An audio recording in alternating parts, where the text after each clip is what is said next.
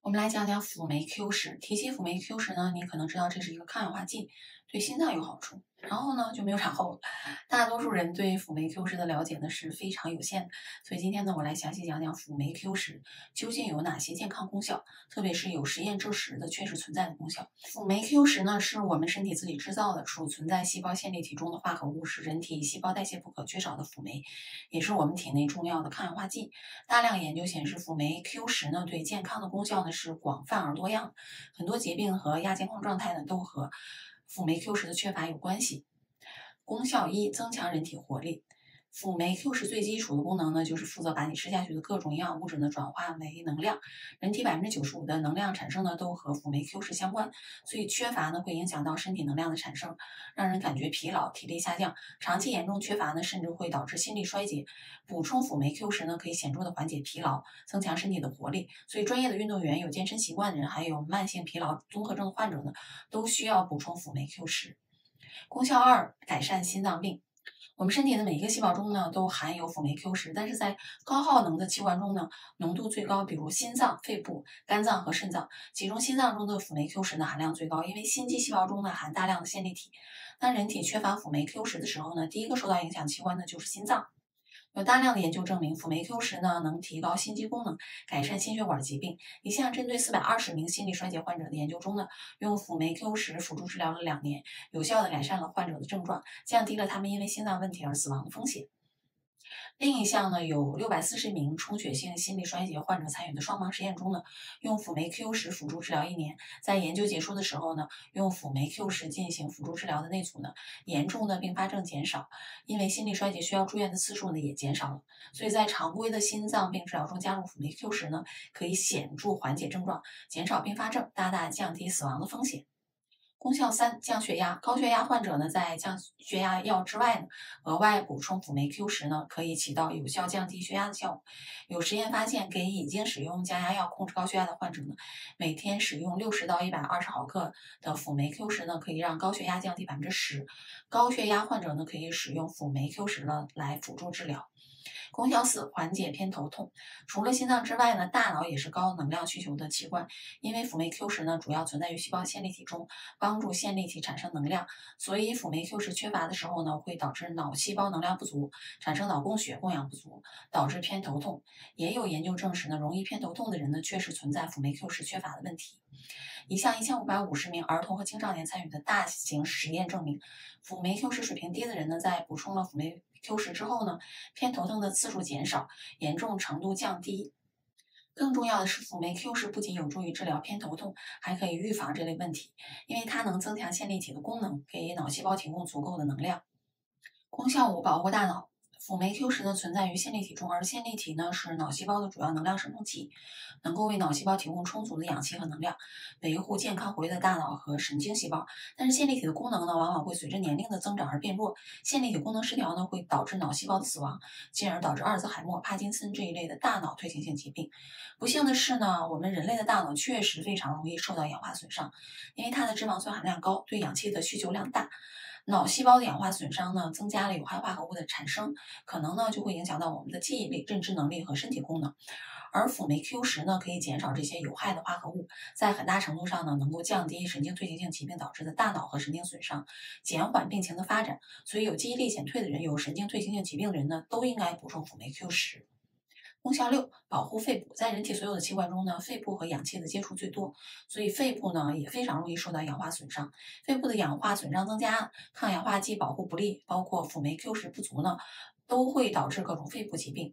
已经有研究证明，有肺部疾病的人呢，体内辅酶 Q 十的水平呢确实比较低。而且呢，也有研究表明，补充辅酶 Q 十呢，可以改善肺病患者的这个肺部功能和运动表现。耗氧量比较大的人，本身肺部就有问题的人呢，也应该补充辅酶 Q 十。功效七：缓解糖尿病。辅酶 Q 十呢，已经被证明可以改善胰岛素敏感性和调节血糖水平。二零二零三月发表在《柳叶刀》杂志子刊上的一项基于四十项研究的荟萃分析发现呢，糖尿病人每天补充一百到两百毫克的辅酶 Q 十呢，可以显著降低空腹血糖、空腹胰岛素、糖化血红蛋白。这个呢是最新的研究，说明补充辅酶 Q 十呢，对于控制血糖呢是有很大帮助的。功效八，改善多囊卵巢囊肿 （PCOS）。多囊呢也是妇科常见病，主要表现为雄性激素过多、无排卵和多囊卵巢形态。多囊呢通常和胰岛素抵抗、胰岛素水平过高有关，而且大多数多囊患者呢有肥胖问题。刚刚讲过了，辅酶 Q 十呢可以改善血糖、胰岛素水平，所以通过控制血糖和胰岛素水平呢可以改善多囊。这个呢也有相关研究可以证实。功效九，提高生育能力。女性的生育能力呢，会随着年龄的增长而下降。辅酶 Q 十呢，直接参与这个过程。随着年龄的增长呢，辅酶 Q 十的生产速度减缓，保护卵子免受氧化损伤的能力呢也会降低。结果呢，就是卵子的质量不太行，影响生育。有研究发现，补充辅酶 Q 十呢，可能有助于，甚至可能扭转这种和年龄有关的卵子质量和数量的下降。同样啊，男性的精子呢也容易受到氧化损伤的影响，可能导致精子数量减少、精子质量差和不孕不育。有研究认为呢，补充辅酶 Q 是可以通过增加身体的抗氧化能力来改善精子的质量、活性和浓度。所以备孕中的女性应该补充辅酶 Q 十，男性呢同样也应该补充。功效十，增强身体的免疫力。我们都知道，氧化应激呢会导致细胞损伤，并且影响细胞的功能，同时呢还会增加癌症的风险。辅酶 Q 十呢是一个超强抗氧化剂，抗氧化的能力呢是维生素 E 的五十倍，能够增强免疫系统功能。近几年的研究发现，癌症患者还有各种慢性炎症的患者呢，他们体内辅酶 Q 十的浓度呢比正常人要低。而辅酶 Q 十的低水平呢，与高达百分之五十三点三的癌症风险有关。所以辅酶 Q 十作为强抗氧化剂以及免疫增强剂呢，在提高机体免疫力和抗炎症、抗肿瘤等等方面呢，有比较好的效果，可以减轻放疗、化疗的副作用。更重要的是呢，有研究表明，补充辅酶 Q 十呢，可能有助于减少癌症的复发。补充辅酶 Q 十呢，对癌症患者呢，也是很有帮助的。功效十一，减轻药物产生的副作用。很多西药呢都是伤肝的，这类药物呢会让体内的辅酶 Q 十减少，比如降低胆固醇的他汀类药物。长期服用呢，能让人体内辅酶 Q 十的水平下降百分之二十到四十。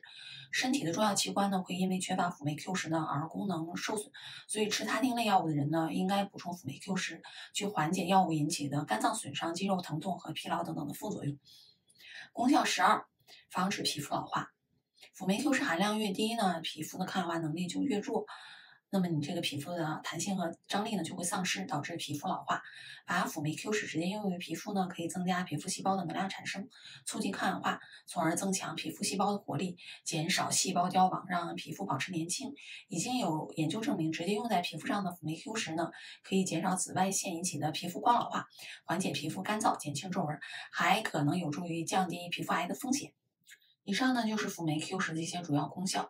人体辅酶 Q 十的含量呢，在二十岁、三十岁的时候呢达到巅峰，三十岁之后呢，体内辅酶 Q 十的含量呢会逐年降低，四十岁以后呢下降的幅度更大。七十岁之后的人呢和二十岁的人相比呢，辅酶 Q 十呢会减少百分之六十。因此呢，年纪越大越需要补充辅酶 Q 十。除了年龄之外呢，药物和疾病呢也会消耗体内的辅酶 Q 十。临床研究发现，当体内辅酶 Q 十含量低于百分之二十五的时候呢，会引起各种疾病；低于百分之七十五呢，会导致死亡。而且从食物中呢，只能获得少量的辅酶 Q 十，额外补充辅酶 Q 十呢，就变得非常重要。所以下一次呢，我们来讲辅酶 Q 十的产品。OK，这期节目就让，我们下期见。